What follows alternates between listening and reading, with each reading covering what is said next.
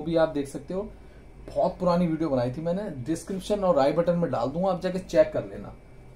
दूसरी चीज़ दोस्तों बुश जो होती है ना बुश ये अवेलेबल हो जाती है कभी जो स्टॉक में सर्विस सेंटर जो रखते हैं ना, जिस सर्विस सेंटर पास स्टॉक अच्छा होता है तो वहाँ आपको ये मिल जाती है बुश कई बार होता है बुश निकालते तो ये आ गया दोस्तों, जैसा कि मैंने पिछली वीडियो में बताया था आपको कि अगली वीडियो बनाएँगे ज़रूर डाइट के ब्लोअर की करेंगे अनबॉक्सिंग जानेंगे इसके इसके जो ब्लोअर की जो क्वालिटी है बिल्ड क्वालिटी कैसी है और कितने का ये ब्लोअर है, कहाँ से मिलेगा, कैसे मिलेगा, वो सब इस वीडियो में हम करेंगे कवर तो सबसे पहले आप ये बॉक्स देख सकते हो। ये देखिए। कोई भी यहाँ पे सिर्फ़ एक स्टिकर लगी हुई है, ठीक है? ये जो जहाँ से डिलीवर हुआ है, वो ये जी सर्विस ठीक है?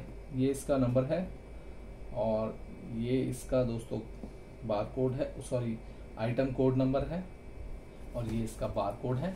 यहाँ पे हमें देखने को मिल जाती है सिम्फनी की ये टेप लगी हुई है यहाँ पे। बॉक्स काफ़ी बड़ा है। अब देखते हैं इसके अंदर आइटम कितनी बड़ी निकलती है।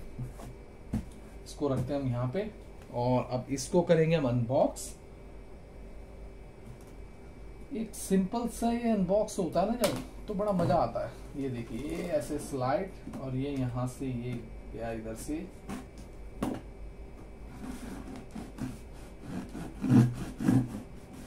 ठीक है ये साइड से मैं काट पाऊँ ना तो बड़ा अच्छा लगता है।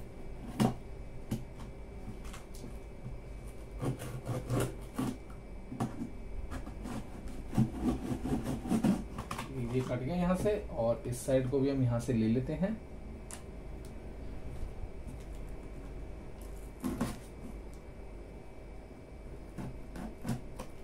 ये कट गया, इसको रखते हैं हम साइड में। और यहाँ हमारा ये ब्लोअर का डब्बा, ये दोस्तों खुल गया यहाँ से। ये देखिए, ये डब्बा हमारा खुल गया है ब्लोअर का। यहाँ पे मैं दिखाऊँ आपको एक, ये बॉक्स खाली अंदर से, ये आप देख सकते हो। और यहाँ मेरे हाथ में है ये ब्लोअर और ऐसा लग रहा है, इस साइड से तो काफ़ी फ्रेश लग रहा है, वैसे तो नया ही है। इधर थोड़ी सी ऐसा लग रहा है धूल वगैरह, धूल ही है दोस्तों। हो सकता है सर्विस सेंटर में था तो वहाँ रखा होता है स्टॉक में। तो चलिए बॉक्स को रखते हैं हम साइड में और जानते हैं इसकी डिटेल और फीचर सबसे पहले ये रखा हमारा ब्लोअर हालाँकि मैंने इसकी एक वीडियो बनाई थी कि कैसे आपको ये डाइट का जो होता है ना, कई बार डाइट की मोटर में फंस जाता है, निकलता नहीं है। वो कैसे निकालना है, वो भी आप देख सकते हो। बहुत पुरानी वीडियो बनाई थी मैंने। डिस्क्रिप्शन और आई बटन में डाल दूँगा, आप जाके चेक कर लेना। दूसरी चीज़ दोस्तों बुश जो होती है ना बुश ये अवेलेबल हो जाती है कभी जो स्टॉक में सर्विस सेंटर जो रखते हैं ना, जिस सर्विस सेंटर के पास स्टॉक अच्छा होता है तो वहाँ आपको ये मिल जाती है बुश कई बार होता है बुश निकालते हैं बुश खराब हो जाती है। आप मोटर निकाल लो और यहाँ से ये लॉक सेट बना होता है। ये मैं थोड़ा आपको पास से दिखाता हूँ। ये देख रहे हो ना, आप लॉक सेट एक क्लिप्स लगे हुए हैं क्लैम्प क्लिप और क्लैम्प इनको बाहर निकाल दो बुश भी हमारी बाहर आ जाती है। और ये एक नट होता है, वो इसलिए जैसे ब्लोअर मोटर के अंदर जाएगा तो यहाँ से हम नट को टाइट करेंगे और यहाँ से लगाएँगे स्क्रू ड्राइवर जिसकी मदद से ये टाइट हो जाएगा, जो आगे लॉक हो जाएगा। ब्लोअर में, बुश, सॉरी, मोटर में। अच्छा दूसरी एक चीज़ और मैं बताऊँ। सबसे पहले ये इसकी जो क्वालिटी है ना, ये देखिए। जो इस ब्लोअर की क्वालिटी होती है ना, मुझे सिम्फनी के पार्ट्स की एक चीज़ अच्छी लगती है कि जो प्लास्टिक पार्ट्स होते हैं ना इनके मोस्टली उसकी जो जो बिल्ड क्वालिटी होती है, काफ़ी मजी है। देखिए, मैंने पूरा इसमें थोड़ा सा काफ़ी ज़्यादा इसमें ज़ोर लगाया बिल्कुल भी एक तरीके से बैंड नहीं हो रहा है। देखो आप बहुत हल्का बैंड हो रहा है नीचे से, यहाँ से अगर आप देखोगे तो। और यहाँ पे एक ये लगा होता है, ये वाला आप जो देख रहे हो, लोहे की क्लिप ये दोस्तों क्या होता है, ये जैसे यहाँ देखोगे, आर बना हुआ है, यहाँ अंदर। ये आर है और इधर एल बना हुआ है। मतलब ये लेफ़्ट साइड का ये राइट साइड। राइट साइड मतलब ये इस साइड से ऐसे मोटर के अंदर आएगा।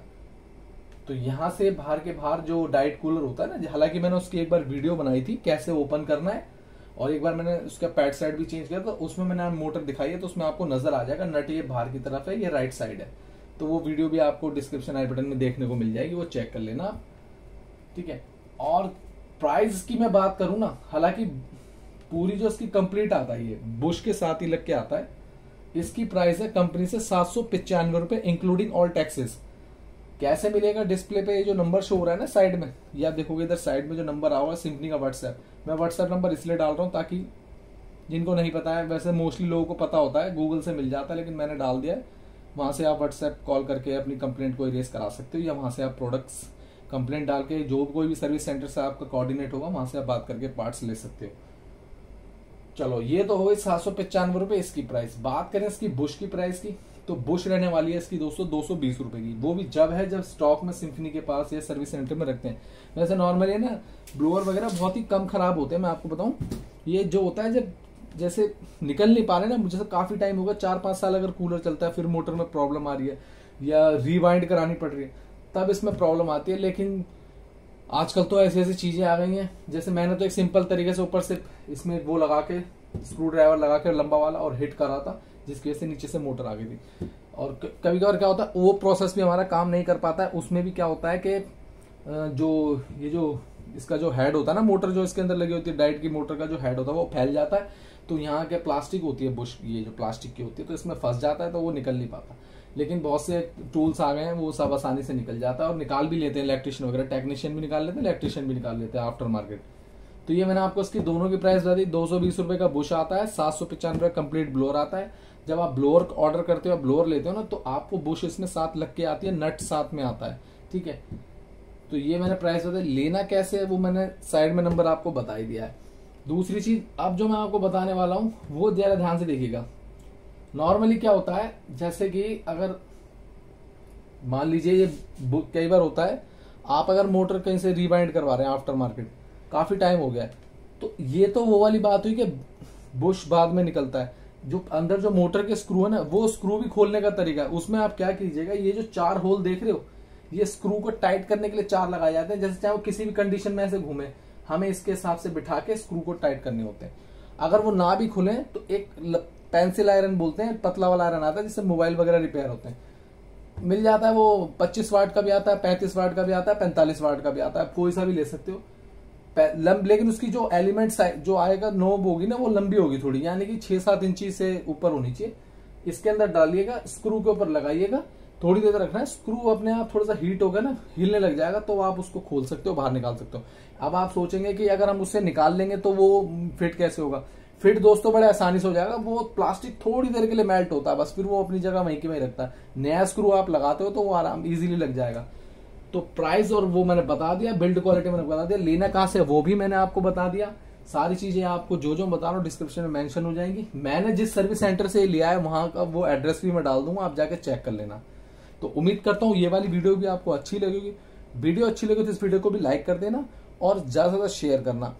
और जो चैनल पे हमारे दोस्त नए हैं, वो चैनल को सब्सक्राइब कर लेना बेल आइकन को प्रेस कर लेना, जिससे आपको आने वाली वीडियोस की नोटिफिकेशन मिलती रहेगी। मिलते हैं जल्दी आपसे अगली वीडियो में।